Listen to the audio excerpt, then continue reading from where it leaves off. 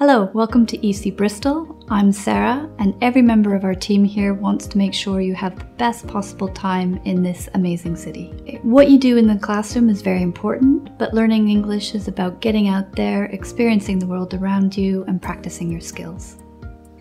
Here are just a few ways to practice your English in Bristol. Uh, Bristol was voted one of the best places to live in the UK this year. Um, there are lots of ways to practice your English. My first tip would be to go out to some of the many food markets that we have in Bristol.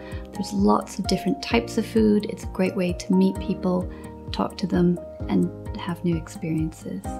My second tip would be to explore Bristol's music scene. There's um, a ton of different music, lots of famous bands come from Bristol, and there are concerts all the time. My third tip would be to join some of the many different clubs that um, are available in Bristol. There's something for everyone. So, what are you waiting for? Come over and start your learning journey today.